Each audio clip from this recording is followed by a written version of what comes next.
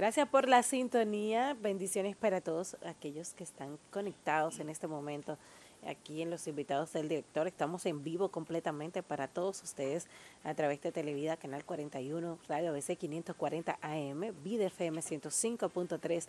Nos puedes también escuchar a través de www.videfm.org para todo el mundo. Y estamos online compartiendo con todos ustedes.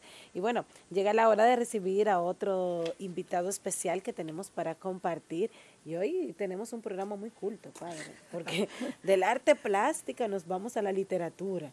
Bueno, vamos a recibir en esta mañana al señor Rafael Espinal, que nos presenta su nuevo libro ante el Tribunal de Dios para renovar la fe y la relación familiar. Así que buenos días y bienvenido. Buenos días y muchas bendiciones para todos los que están ahí en sus hogares. Aquí estamos dándole a conocer una vez más eh, este libro ante el tribunal de Dios. Al fin y al cabo, todo un día vamos a estar ahí ante el tribunal de Dios. Por hay, que irse, hay que irse buscando los abogados. Precisamente. que sean buenos. El libro nos ayuda a estar bien, a prepararnos para estar ante el tribunal de Dios y aquí para mejorar nuestra relación familiar. Y si se mejora la relación en la familia, también se mejorará la relación en la sociedad. Porque cada hogar es una célula del cuerpo social. ¿Y de dónde surge esta idea de entrarle al tribunal de allá arriba? Eh, en un capítulo, el capítulo quinto, de hecho el libro no se llamaba así, Ah. No, el libro se llamaba solo para renovar la fe y la relación familiar. Pero alguien me aconsejó, un periodista amigo mío, que como este capítulo es el capítulo central del libro, porque habla de la evangelización a quienes poseen autoridad sobre los demás y lo pernicioso del pecado de la corrupción, pues era más corto leíste ante el tribunal de Dios, que la gente lo entendiera y lo digeriera. Hay un mensajito en la página 97 del capítulo quinto ante el tribunal de Dios, con el que empieza, se lo leo, dice, las acciones malignas y perjudiciales del pecado, agresiones, crímenes, injusticia y corrupción, prescriben o se archivan en los tribunales humanos pero en el tribunal de Dios solo tienen prescripción a través del sincero arrepentimiento, la restitución voluntaria, la conversión y el perdón. Allí no se archivan los expedientes, a no ser que la no perimen, no perimen. a no ser que la persona se convierta y devuelva voluntariamente lo que no le pertenezca. Porque si lo devuelve a la fuerza, entonces ya no hay una actitud de conversión. Así es, así es. Qué bueno, estas herramientas que, que nos das para la familia, ¿verdad? ¿Cómo entra la sociedad en crisis porque la familia está en crisis? Por supuesto que sí. Una familia sin Dios es como un árbol sin raíces o un edificio sin zapata. Y así está la sociedad. No comparto el dicho que muchos dicen, que se han perdido los valores. No, los valores están ahí, lo que no se están viviendo, lo que no se están cultivando. No se han perdido. Están. Porque el primer código de valores y de derechos humanos, ¿cuál es? Es el código de los mandamientos de la ley de Dios. Es el primer código de valores el código de los mandamientos de la ley de Dios. Y eso no se ha perdido. Ahora, que no se estén viviendo, que no se estén cultivando, practicando, ya es otra cosa es, que a veces, como cuando se extravía algo e, en, la casa y le pasa mil veces por el, por el mismo sitio y no lo encuentra, ¿verdad? Y ha estado ahí. Correcto. Ha estado ahí. Qué bueno. Eh, ¿Por dónde empezar? Si usted tuviera que hacer una restauración de las familias, ayudar a reconstruir, como cuando pasa un ciclón que se cayó la casa y uno dice, bueno, voy a quitar primero el techo, voy a quitar eh, los escombros y voy a hacer esto. ¿Por dónde empezar? Los que nos escuchan ahora, las familias que quizás están pasando por algún momento difícil, ¿por dónde empezar? Es una pregunta muy importante. Siempre es necesario empezar por el principio. Dios es la base de todo. Es necesario volver a Dios, indicar a la familia que sin Dios en vano se afanan los constructores. Una sociedad sin Dios se derrumba. ¿Qué es lo malo? Lo malo es que se están dando muchas informaciones somníferas. Esto lo tratamos en el libro. ¿Qué es una información somnífera?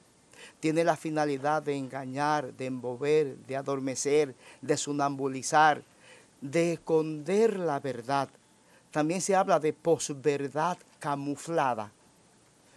En el libro es una verdad después de la verdad, una verdad camuflada, maquillada. Entonces ahora lo bueno se quiere, la consecuencia de lo que está pasando, todo lo que está pasando, el deterioro social, en el fondo es que se cree en Dios, pero no se quiere vivir como manda Dios. Este es el problema. Por eso es necesario que la familia se vuelva a Dios. Y desde aquí, entonces, empecemos cada quien a ver qué hay en mi vida que yo tengo que cambiar, que yo tengo que dejar para mejorar mi relación familiar y la sociedad. Y cuáles otras cosas yo debo empezar a hacer para mejorar mi vida y mi familia. Y desde aquí, desde mi vida, desde mi familia, ayudar a cambiar a la sociedad y al mundo en el que vivimos. O sea que es un compromiso también, ¿verdad? Eh, que no solo cambie mi familia, no solo se pueda nutrir, sino que en esta roca firme que es el Señor, poder edificarlo todo, construirlo todo y reconstruirlo todo también. Claro, precisamente eh, usted hace mención desde, desde el primer capítulo de que Jesús nos manda a que debemos cambiar primero. ¿eh? A veces queremos que las cosas cambien, pero que cambie el otro.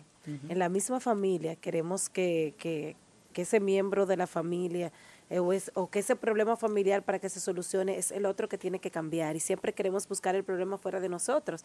Igual en la sociedad, ¿no? que cambien los demás, pero no, no cambia mi entorno, no cambio yo, no cambia mi familia. Entonces, desde, desde esa perspectiva, eh, usted nos invita a que debemos cambiar primero. Por supuesto, hay una aclamación que a mí me gusta mucho, la impartimos mucho en los retiros, que dice, para que mi familia y los demás sean como yo quiero, ayúdame Señor a cambiar primero.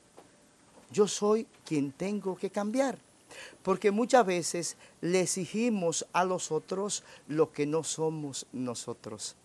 Hay un mensajito en el libro que dice, quien quiere aparentar ser perfecto, esconde muchos defectos. Y quien se pone a criticar sus faltas quiere tapar, se está poniendo adelante. Ah, Mira, esto estuvo muy buena. Nos encantaría saber cómo la gente ya puede eh, conseguir el libro.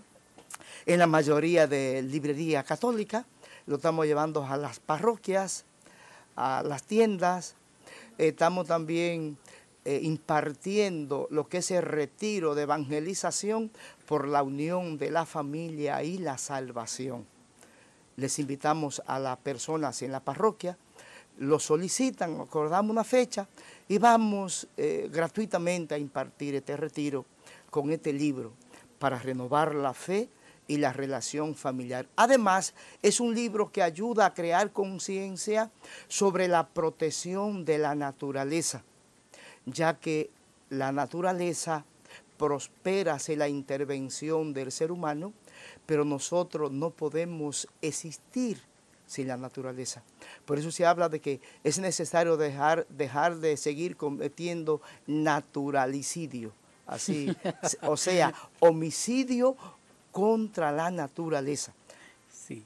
Bueno, pues ahí está, ante el tribunal de Dios para renovar la, fe, la, fe, y la, relación, familiar. Así que lo vamos a buscar en las librerías. Gracias por estar con nosotros y aquí seguiremos promoviendo, vamos a interiorizar un poco eh, eh, y por supuesto proponerlo. Las personas que quieran solicitar el libro el retiro pueden llamar al 809-536-8010 o al celular WhatsApp 809-601-1435. Y con mucho gusto les atenderemos y les serviremos. Claro que sí. Vamos a una pausa y retornamos en breve.